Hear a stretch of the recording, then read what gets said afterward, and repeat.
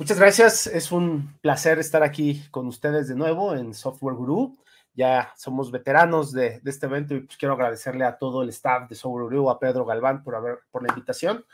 Eh, el día de hoy me pidieron que les comparta un poquito acerca de nuestra experiencia con inteligencia artificial y en un nivel muy básico, ¿no? Vamos a entrar para que todos empiecen a conocer y empiecen a hacer uso de estas herramientas, entendamos bien los conceptos y poder después utilizarlos en nuestro día a día, ¿no? Y también pues ver las posibilidades que se tienen dentro de, esta plataforma, ¿no?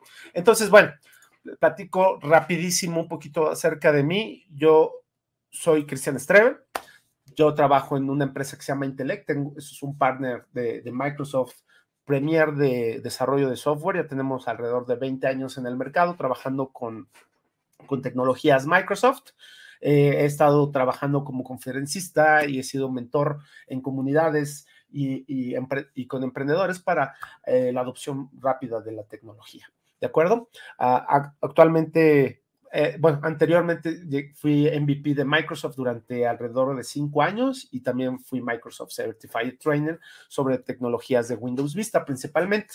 Y bueno, ya también más para compartirles una de mis aficiones son las artes marciales y bueno, ahí entreno eh, Jiu-Jitsu brasileño, ¿no? Entonces, si al final de la plática este, quieren conocer un poquito más acerca de lo que hacemos o lo que hemos estado trabajando, con todo gusto les voy a dejar mi correo y para que me echen ahí un teléfono. ¿De acuerdo? Pero bueno, vamos a entrar un poquito ya en materia este, y, vamos a, entender, eh, pues, qué es la codificación, ¿no? Todo el mundo dice, ah, pues sí, soy coder, soy programador, ¿qué, pero ¿qué sí que es la codificación? ¿O, o ¿qué, me refiero o qué me voy a referir en esta charla con, la, con codificación? Es el proceso de traducir ideas y conceptos en un lenguaje de programación para que lo pueda entender una computadora y darle ciertas instrucciones que lo puedan entender, básicamente, ¿no? Todo el software construido en el día de hoy pues requiere ser codificado de alguna manera, ¿no? Existen múltiples lenguajes y pues, y, cada, y cada uno tiene eh, usos generales o específicos, ¿no? Por ejemplo, hay lenguaje, el lenguaje R, por ejemplo, que se utiliza más específico para eh, eh, para científicos de datos, perdón, de, de o bien también tenemos este, el C Sharp, que es de propósito general, ¿no? Puede ser, puedes hacer todo con C Sharp, ¿no? Y hay lenguajes específicos también para, para programar dispositivos específicos, ¿no? Por ejemplo, un lector de huella digital, pues tiene su lenguaje de programación de bajo nivel, que puede ser C++ o Assembler o qué sé, pero nada más va a funcionar específicamente para ese dispositivo, ¿no? Entonces, para que una, normalmente, para que nosotros podamos construir una aplicación, pues vamos a necesitar codificarla, ¿no? Actualmente, pues existe, como les decía, existen muchos, muchos diferentes tipos de lenguaje y existen muchísimos repositorios y muchas tareas que ya se han desarrollado en algún momento para, algún, para alguna aplicación, ¿no? Por ejemplo, si yo voy y, y pido enviar correo desde, ¿cómo enviar un correo de C Sharp? Pues alguien ya lo construyó en algún momento y lo subió a un repositorio. ¿De acuerdo? Entonces, toda esa información, toda esa, programación existe en la nube o existe en algún lado y la podemos consumir, ¿no? Pero bueno, ahora vamos a, eh, hablar, pues, ¿qué es la inteligencia artificial, no? Eh, la inteligencia, antes, o sea, antes de poder entender qué es la codificación o, potenciada por inteligencia artificial, hay que entender qué es inteligencia artificial, ¿no? En, términos generales, la inteligencia artificial es la capacidad de las computadoras de aprender o realizar tareas que normalmente requerirían, eh, requerirían esfuerzo humano, como el reconocimiento de patrones, eh, los modelos de lenguaje, eh, etcétera, etcétera, ¿no? La inteligencia artificial, mediante diferentes algoritmos de software, puede identificar ciertos, este, aprender ciertas cosas y poder realizar esas tareas, ¿no? Como toma de decisiones basada en patrones, toma de decisiones basada en diferentes tipos, ¿no? Eh, la inteligencia artificial usa algoritmos y modelos de aprendizaje automático que van a permitir analizar grandes cantidades de datos, aprender de esos datos y mejorar su precisión conforme van realizando ciertas tareas. Por ejemplo, si tú a una inteligencia artificial lo entrenas con muchísima información de diferentes libros, va a ser capaz de poder escribir un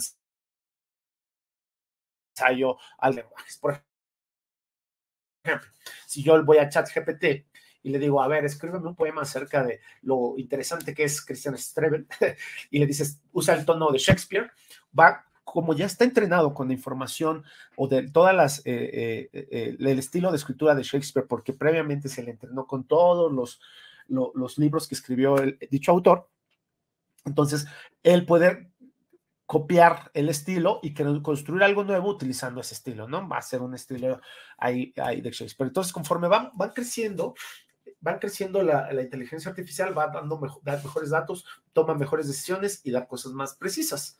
¿De acuerdo? Sin embargo, bueno, más bien, y hoy la inteligencia artificial está en todas partes, ¿no? Desde los motores de búsqueda de Bing, etcétera, etcétera, hasta los sistemas de recomendaciones por, eh, como los de Amazon, por ejemplo, o los chatbots que pueden identificar o darte respuestas con base a una, a una pregunta natural y, y, los coches autónomos, ¿no? Como los Tesla, ¿no? Que puedes andar en autopilot y por ahí por toda la, por toda la ciudad sin, sin necesidad de estarlo manejando, ¿no? Entonces, este, esto ha ido cambiando poco a poco y, lentamente cómo hemos aprendido a utilizar el software al, día de hoy. ¿De acuerdo? Y muy bien, entonces,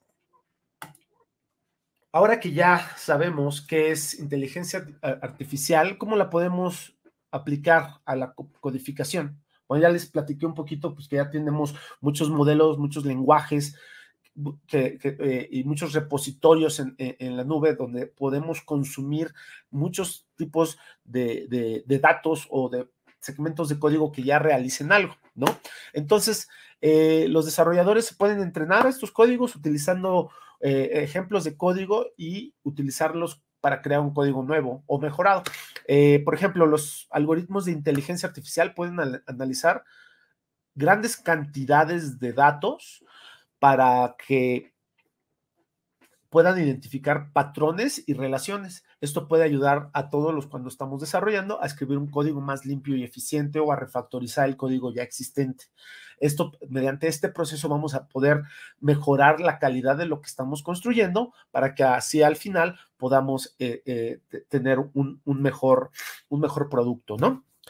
También pues, la codificación potenciada por la inteligencia artificial puede ayudar eh, a crear, a tener menos errores o menos defectos dentro de nuestros códigos para, para automatizar ciertas tareas eh, que son latosas o, o repetitivas, como la creación de variables, creación de algunas funciones que siempre lo tenemos, ¿no? Nosotros, por ejemplo, acá en nuestra empresa utilizábamos algo que se llamaba Application Blocks. Entonces, cada proyecto que teníamos que hacer, pues teníamos ya nuestro, nuestros Application Blocks ya creados con todos los mismos utilerías y todos los mismos códigos para estarlos reutilizando continuamente. Entonces, este tipo de, de, tareas repetitivas, pues se pueden automatizar fácilmente con la, eh, con la inteligencia artificial. Es importante destacar también que la codificación potenciada por inteligencia artificial no va a reemplazar a un desarrollador, ¿eh? o sea, siempre vamos a tener la necesidad de de utilizar la creatividad, ¿no? La inteligencia artificial sí puede tomar decisiones, puede crear código, puede obtener información de muchas fuentes, pero no necesariamente va a darnos todo lo que realmente necesitamos específicamente para un, para un software, ¿no? Por ejemplo, te va a poder dar un, esqueleto de un programa o, algunas sugerencias de código, pero a lo mejor la parte creativa, la parte que genera eh, eh, valor a, un aplicativo, pues eh, eso va a seguir existiendo, ¿no? De acuerdo, sí, vamos a seguir teniendo desarrolladores. Claro que pues, los desarrolladores que eran malos, van a, ser, van a ser ahora peores, ¿no? Porque ya la inteligencia artificial les va a hacer todo. bueno, por otro lado, este, les quería platicar un poquito quién está utilizando en la, historia, en la, en la, vida real, esto, ¿no? Porque, ah, sí, pues está muy padre eh, que puedas construir aplicaciones así, pues utilizando inteligencia artificial, pero ¿realmente funciona? Eh, JP Morgan Chase, que es un banco muy grandote eh, en Estados Unidos, eh, ha logrado una reducción del 30% de, tan solo los errores de codificación que normalmente se utilizaban. Hicieron un estudio ahí internamente y, y redujo en un 40% la entrega del, del desarrollo. ¿no? Entonces, en algunos escenarios puede ser bastante útil para mejorar los procesos y obviamente pues, también con sus limitantes, que ahorita vamos a hablar un poquito acerca de los desafíos y las limitantes que tiene la inteligencia, la programación eh, enfocada o, potenciada con la inteligencia artificial, ¿no? Por otro lado también, este, eh, un segundito, mis notas, aquí están. Eh, en la, ah, bueno, en la industria de, de salud, Suki.ai creó una plataforma de documentación médica. Esta plataforma, aparte de que usa Machine Learning para guardar todos los, los expedientes médicos y poder dar mejores diagnósticos, durante todo ese proceso lo, construyó utilizando eh, herramientas eh, de inteligencia artificial para poder agilizar el código. Entonces, de esta manera se facilitó bastante el construcción, pueden estar ahí generando los aplicativos, ¿no? Eh, por otro lado, eh, también Siemens eh, ha estado implementando una, todas sus operaciones de desarrollo con inteligencia artificial y 30% esto, está algunos white papers al respecto, entonces se los voy a compartir. La verdad es que no los puse aquí en esta, en esta diapositiva, pero ahorita aquí en mis notas yo se los comparto para que puedan ustedes checarlos, ¿no? Bueno, ahora pasemos y hablemos un poquito de las limitaciones y los desafíos.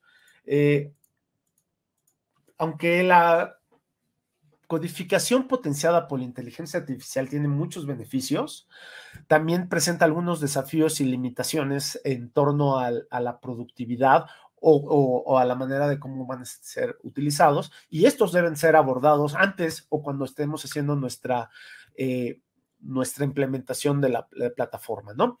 Una, una, parte importante es la dependencia del entrenamiento de los datos. Los algoritmos de inteligencia artificial siempre van a requerir de grandes cantidades de datos de entrenamiento, ¿no? Y poder, para poder darnos eh, decisiones más o predicciones más precisas.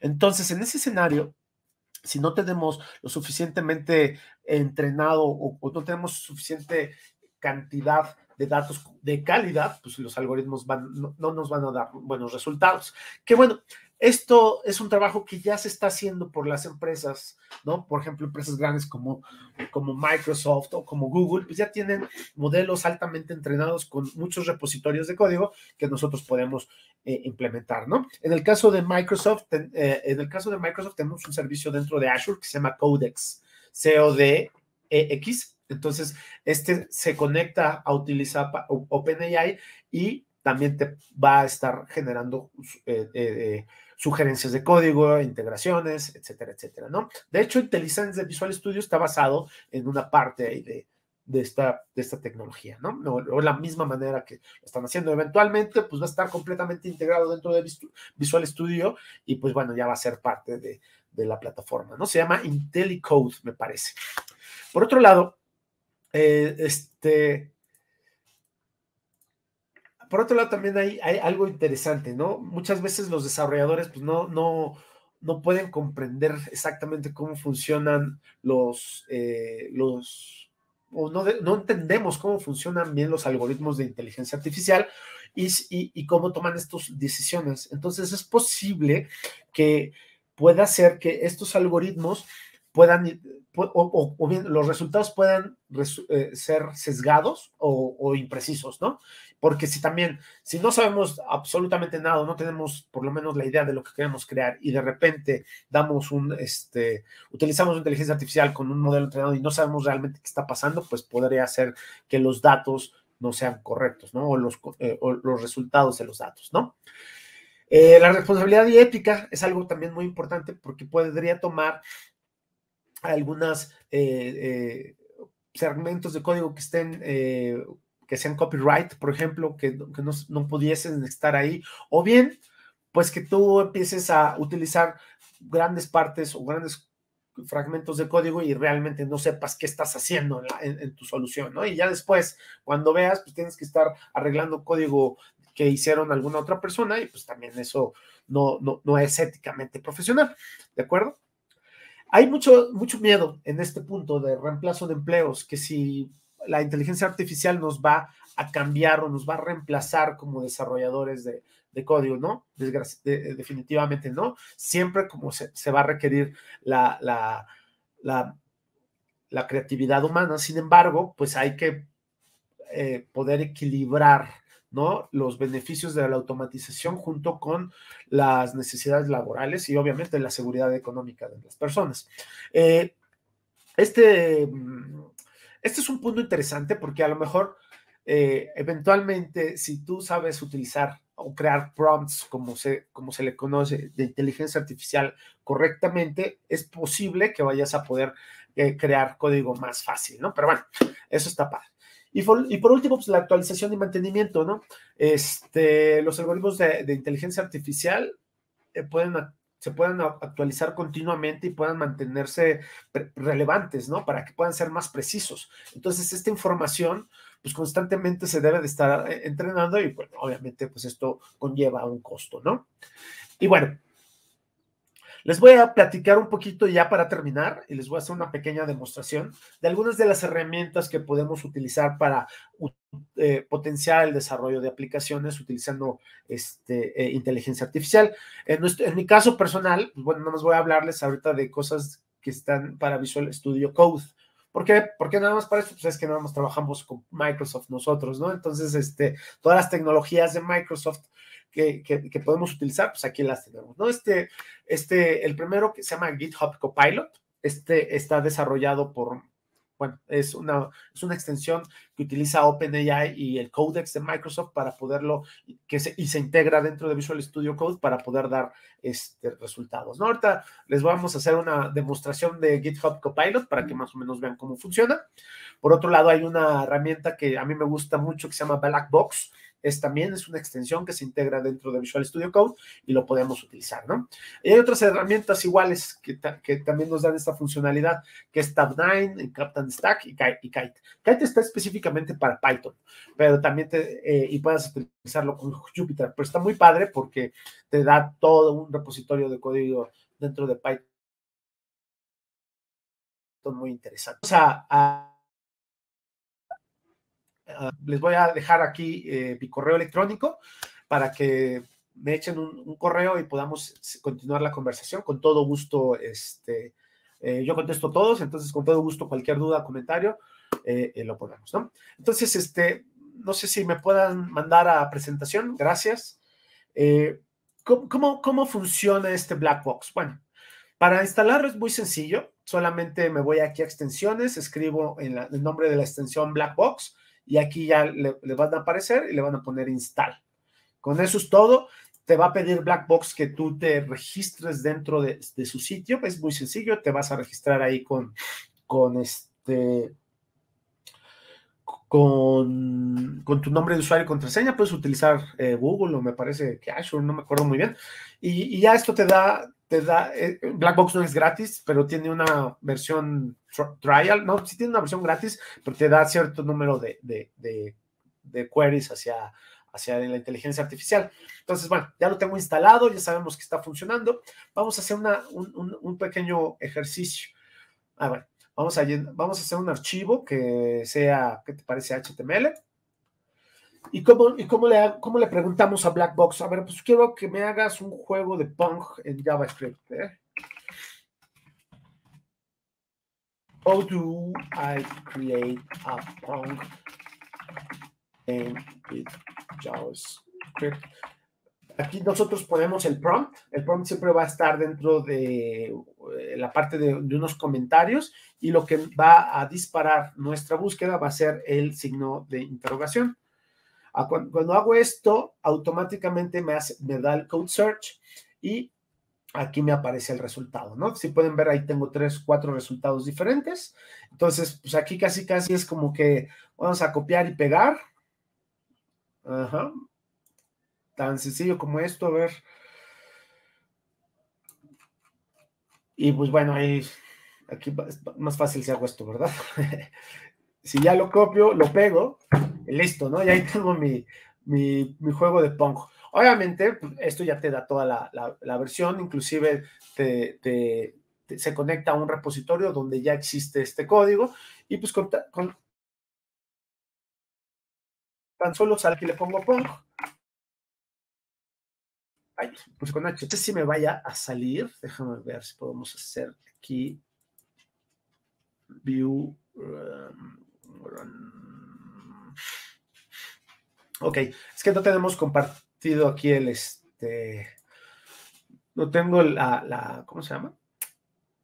No tengo compartido el HTML, pero bueno, les dejo aquí el código para que lo vean es que no, no, no, no puedo compartir la, la, pantalla del explorador porque nada más estoy compartiendo la Visual Studio. Pero bueno, les voy a compartir el resultado, que básicamente es un jueguito de punk en HTML. Ahorita pueden realizar esta demo ustedes muy sencillo, váyanse a Visual Studio Code, instalen Blackbox, pongan el, el, el, habiliten la extensión, pongan, creen un archivo HTML, pongan como comentario este, cómo crear un, un juego de Pong y listo, copiar y pegar y ya tienes tu, tu código, ¿no? Y obviamente esto es una demo muy rápida, tenemos ahí el, el, tiempo muy apretado, pero este, tengo también, también tenemos la intención de presentarles aquí con,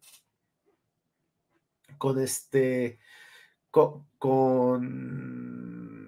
Martín, nos va a hacer una pequeña demostración de GitHub. Entonces, eh, puedes ir activando tu cámara para ya eh, irte, irte pasando y, presentando, ¿no? Martín trabaja con nosotros, él es nuestro, ah, uno de nuestros arquitectos de software y les va a enseñar cómo utilizar Visual Studio Code, perdón, Microsoft GitHub Copilot con Visual Studio Code. Entonces, adelante Martín, muchas gracias. ¿Qué tal a todos? Este, bueno, vamos a ocupar eh, GitHub Copilot, como ahorita lo comentó Chris. Y bueno, GitHub Copilot es un, asistente basado en IA, como comentaba Cristian. Y bueno, está entrenado con los repositorios de GitHub, ¿no? Em, ahorita vamos a hacer un ejemplo muy sencillo de un chatbot. Em, con esto de, de, las pláticas de inteligencia artificial. Y este, bueno, no sé si ya estoy presentando la. Ya, ¿verdad? Ok. Voy a tener tanto la, la pantalla. Y bueno, eh, aquí, por ejemplo, vamos a crear un archivo. Todo esto va a estar hecho en Python. Entonces, vamos a ponerle un main.python. Y bueno, eh, para que empiece Copilot a, entendernos, eh, tenemos que darle un contexto, ¿no? Entonces, por ejemplo, acá este, le podemos poner que vamos a, en comentarios, crear un chat de GPT, eh, de Open ya, ¿no? Si ven, eh, no sé si se logra ver, está un poquito más grande. Eh, la herramienta nos empieza a dar como ciertas, este, ¿cómo se puede decir? ¿Sugerencias? ciertas sugerencias en el código y lo cual nos va a estar permitiendo que nosotros podamos estar autocompletando y agarrando el código que, nos sirva, ¿no? Nos dice, bueno, puedes importar la, librería OS, ¿no? Para trabajar con, con OpenIA, está un poquito mal, le voy a dar un import.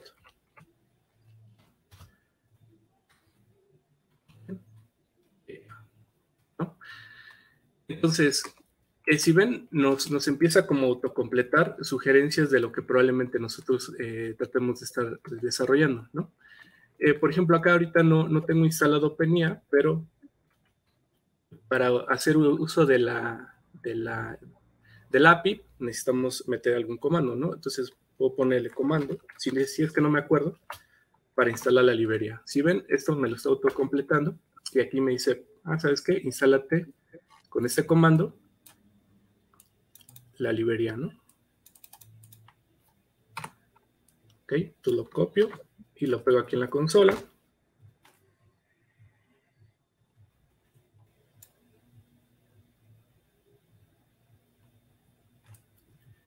Y listo, ¿no?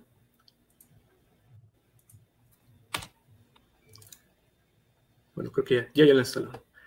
Ok, entonces, por ejemplo, aquí ya instalamos la, librería que nos va a permitir conectarnos con el API. Entonces, lo que necesitamos ahorita es eh, Open eh, darle nuestra key. Si ven, eh, aquí la este, Copilot ya nos está eh, completando que necesitamos una, una llave con con esta característica, ¿no? Con esa estructura. Entonces, bueno, ya viendo aquí la documentación, bueno, aquí está nuestra API key y ya aquí la tengo preparada, ¿no? Entonces, realmente es de gran ayuda porque alguien que a lo mejor no sepa cómo va la estructura o qué código puede meter, puede ir eh, metiendo información y el mismo este, Copilot te va este, permitiendo, te va dando información, ¿no? Por ejemplo, aquí ya tenemos nuestro, nuestro key, ¿no? Ya tenemos la forma de cómo nos vamos a conectar. Ahora necesitamos hacer alguna función que nos conecte para hacer algún prompt, ¿no? Para que nos entregue esa charla con ese bot. Entonces, nada más con que yo le ponga, ¿sabes qué? Eh, define función para crear eh, un chat, ¿no? Ven, por ejemplo, acá, él me está diciendo, ok, puedes crearte una función donde va a recibir una, una pregunta y ya me está autocompletando eh, parte del código que necesitamos para que nos, conectemos con el API y le pasemos estos parámetros. al parecer creo que está correcto. Y pues ya hasta nos entrega el resultado, ¿no? De cómo podemos obtener ese, ese valor. Entonces, em, aquí también, como comentaba Chris, este, necesariamente esto te lo entrega, pero como desarrollador tú tienes que estar ajustando ciertas características del código, ¿no? Probablemente eh, no ocupe esos parámetros. Y vamos a ocupar ahorita, por ejemplo, este modelo, ¿no? En lugar de DaVinci, la versión 3. ¿Ok? Ya tenemos este, la conexión, que sería lo, siguiente. Yo le puedo decir acá que em, probar, ¿no? Probar la función y, por ejemplo, como es una de consola, necesitaríamos salirnos este, en cualquier momento, ¿no? O sea, dependiendo de lo que escriba el usuario, si no escriba a lo mejor salir, eh, que se salga de la consola, ¿no? Eh, y salir. Cuando el usuario diga adiós, ¿no? Si ven, ya hasta nos está autocompletando parte. Eh, de lo que probablemente nosotros este, estamos necesitando. ¿no?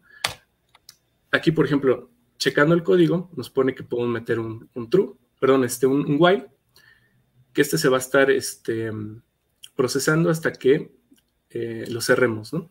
Por ejemplo, acá estamos obteniendo la respuesta, o la, más bien la pregunta de la entrada de texto, y si la pregunta es adiós, perdón, la, la respuesta es adiós, pues se va a tronar el código, ¿no? Bueno, más bien, se va a tronar el, ciclo. Y aquí va a llamar a nuestra función. Si ven, está ocupando el contexto de nuestra función para agregar toda esta funcionalidad. ¿Ok? Entonces, bueno, aquí le podemos dar un play.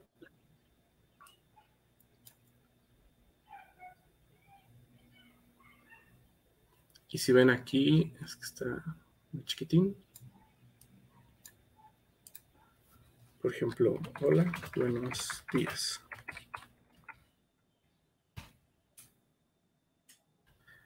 Si ven, ya nos está contestando este GPT y nos está poniendo, ¿no? Espero que tengas, que, estés teniendo un gran día, ¿no? Ok, entonces, hasta ahorita no he estado revisando nada, por ejemplo, en la web. El Copilot nos ha estado este, mostrando prácticamente parte de toda la información de los repositorios que él ya tiene o de los que ha estado este, entrenando. Y probablemente aquí podemos hacer algo un poquito más complejo, ¿no? Este, podríamos decirle que cree una página web.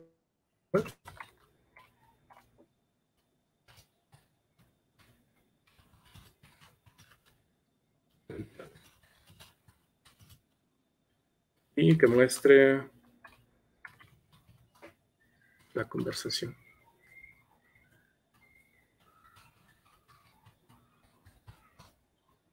Listo.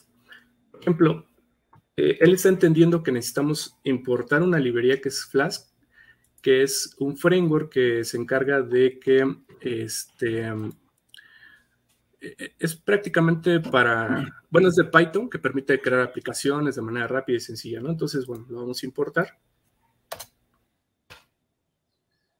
¿Y qué más nos, empieza a, sugerir? Ok, tienes que, inicializar Flask y nos, va a poner aquí una ruta, ¿no? En, la, en la raíz. Nos va a poner un index, que es correcto. ¿Qué más nos sugiere? Aquí va a poner un get. Y va a, a responder, ¿no? Con el mensaje. pareciera que es correcto, ¿no? Entonces, este, ¿qué más nos sugiero? Bueno, esto es para em, correr el servidor. Y si ven, ya tenemos prácticamente nuestra parte back. Ahorita nos faltaría lo que es este, el index, ¿no? Entonces, yo le puedo poner página index.html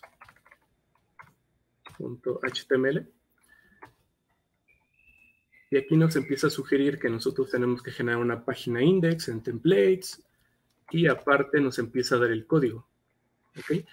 Probablemente esto no, sea, no sea funcional porque nos va a empezar a dar todo el HTML y a lo mejor no, lo necesitamos así, ¿no? Nosotros para esto podemos ocupar una, una propiedad que tiene Copilot con Control Enter que nos va a decir este, sugerencias o soluciones a lo que le estamos preguntando. Por ejemplo, acá ya me está dando una sugerencia con eh, ya prácticamente todo armado, ¿no? Entonces, bueno, déjenme hacerlo un poquito más chiquito porque creo que no se ve.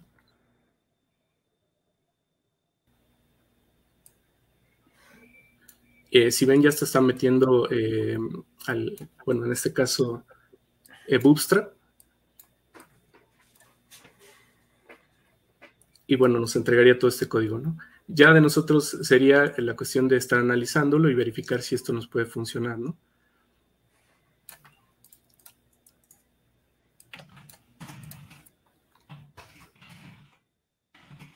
Entonces, bueno, eso sería todo. No sé si si tengan alguna duda.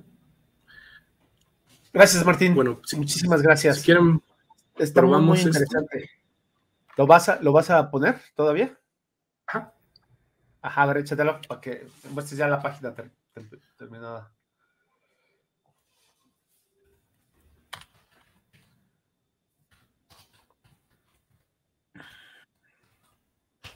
Tenemos que generar eh, templates, un index, y aquí vamos a ponerlo, ¿no? El código, le damos guardar, cerramos acá. Eh, vamos a comentar esta parte, que es lo de la... Bueno, eh, algo importante, necesitamos instalar esto, pero voy un poquito más rápido.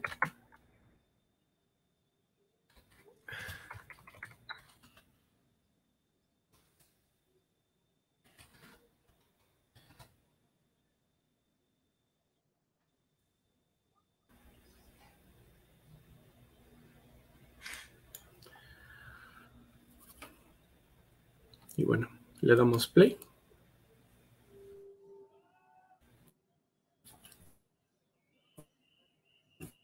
Y bueno, aquí ya levantó el servidor.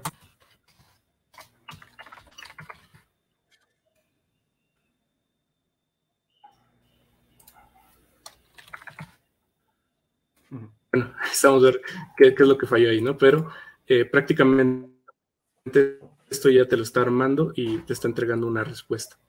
Este, te está generando una página y prácticamente el objetivo era este, mostrar cómo funciona Copilot.